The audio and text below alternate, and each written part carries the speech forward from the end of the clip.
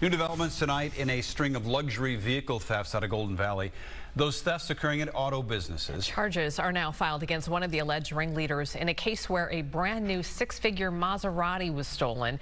Fox 9's Paul Blume joining us from Golden Valley PD. Paul, police believing that these thieves are actually using these pricey vehicles to commit more crimes.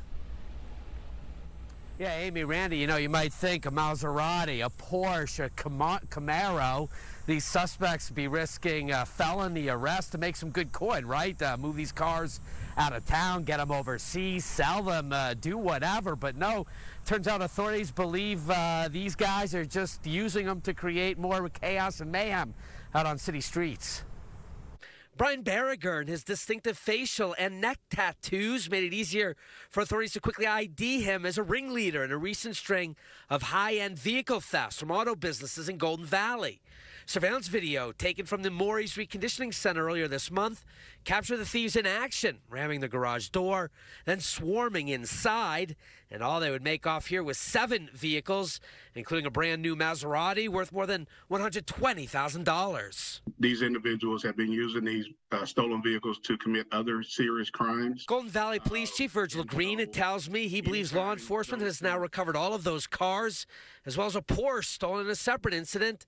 As for Baragar, he was arrested late last week in a stolen blue Camaro.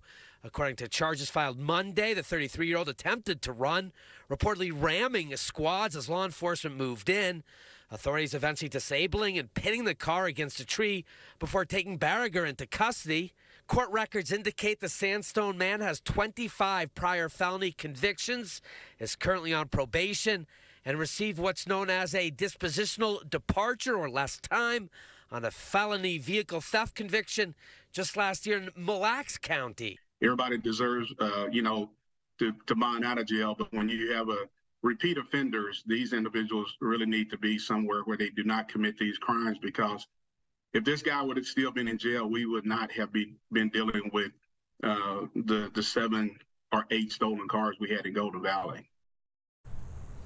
Online records indicate Baragar was in front of a judge this afternoon. He'll return to court tomorrow. And just looking at the Hennepin County Court docket, it does appear Baragar has at least five open cases just in Hennepin, County alone.